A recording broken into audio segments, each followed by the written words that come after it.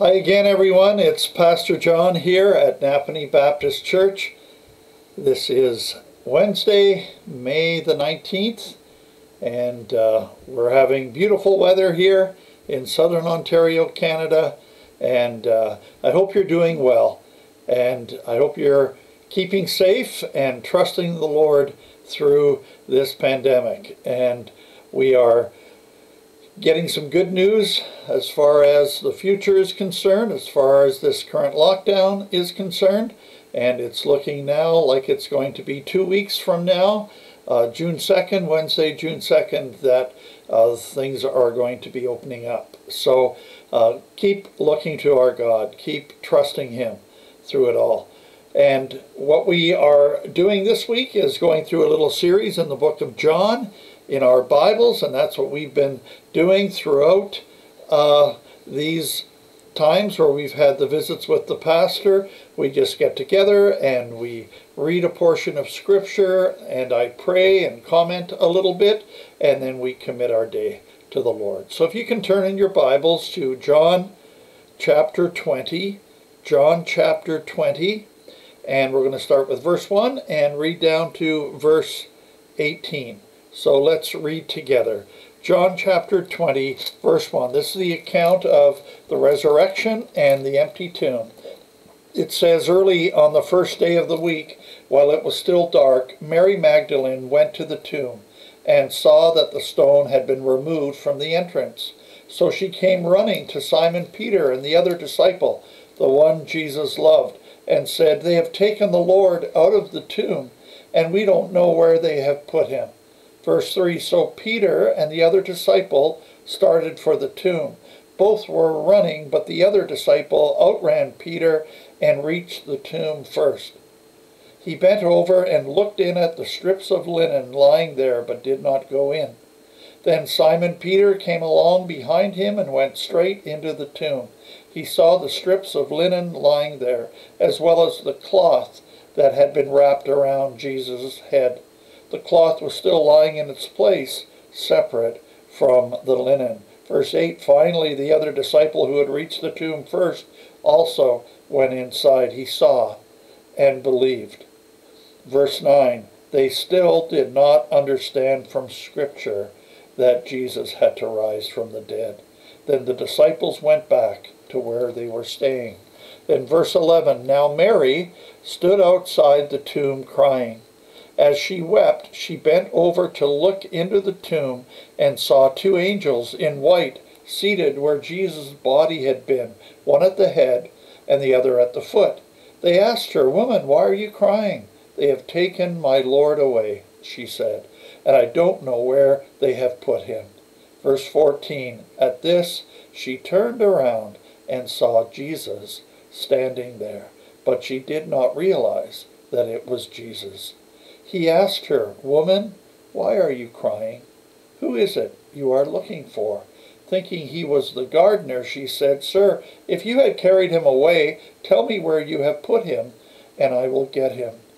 Jesus said to her, Mary.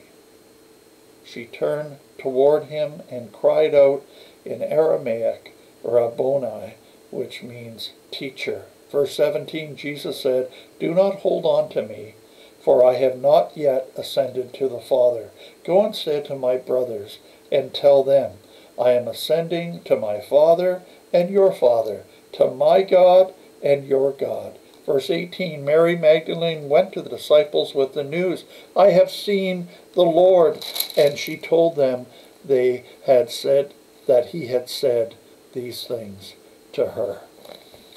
Well, this is quite the account here of the resurrection, and uh, I really like what it says in verse 9, what John, the writer, says about the disciples, Peter and the uh, other disciple who went with him. It says they did not understand from Scripture that Jesus had to rise from the dead. They still didn't understand. Uh, and at this point, and they were obsessed with, or not obsessed, I guess it would be more um, weighed down by their uh, fears and by their discouragement, thinking that all was lost, thinking that Jesus had been crucified and he was dead and gone. And this was such a shock. Uh, and it's so interesting that it was Mary Magdalene who first went to the tomb and the, saw the saw the stone that had been removed, and she was the one, uh, a woman of ill repute.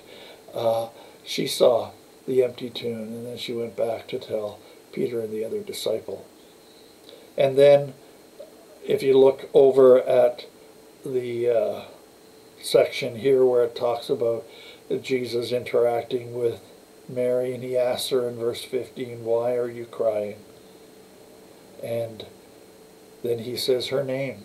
And this is so, uh, so important because Mary knew him and he knew her. So it wasn't a phantom. Jesus wasn't a ghost or a disembodied spirit. He, he recognized her and she recognized him. And that's such an encouragement for us when we think about that simple truth that Jesus knows my name. He knows me intimately. He cares about me intimately. And especially when it comes to knowing him the way Mary knew him. We can know him in that same way, in that same personal way. And we, of course, can have that same hope of the resurrection, that we can have a personal relationship with Jesus and know him intimately and personally. What a great hope to have, to have a risen Lord, a risen Savior, not some dead leader of a dead religious movement. No, we have a risen Lord. And that's why Mary and the disciples were beside themselves. They just couldn't get over it. And we should be the same way. That truth should just continue to astound us and amaze us that Jesus knows our name. He is alive and well, and he knows us, and he cares about us, and he wants us to come to him. May that encourage you today. May you be emboldened and encouraged with that wonderful hope that Jesus is alive, and he knows us, and he cares about us. He knows what we're going through. He knows our name. And may God bless you today, and may you be encouraged, and may you keep looking to the risen Lord. Let's just pray together and commit our day to Him. Father, once again, we just praise you and thank you that you are a prayer answering God. You are a God who cares. You are a God who is always there, who is available, who is ever present. And Lord, we thank you that we have the hope. Christ in us, the hope of glory. We have the hope of the resurrection, and we have that assurance that you know us intimately. Jesus knew Mary. He knew her by name. That wonderful old hymn, Blessed Assurance, Jesus is mine. Oh, what a foretaste of glory divine. Jesus knows me personally, and he cares whatever I'm going through. What a wonderful assurance and, and promise.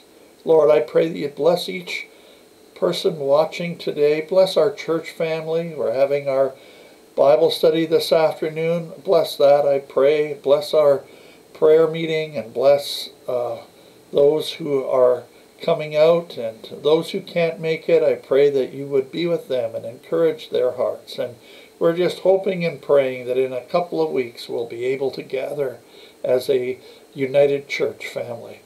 And we are just really excited about that. So, Lord, we just want to commit ourselves to you now, and we praise you and we thank you. In Jesus' name, in our risen Lord's name, amen and amen. God bless. Have a great day, and we'll see you on Thursday. Bye bye.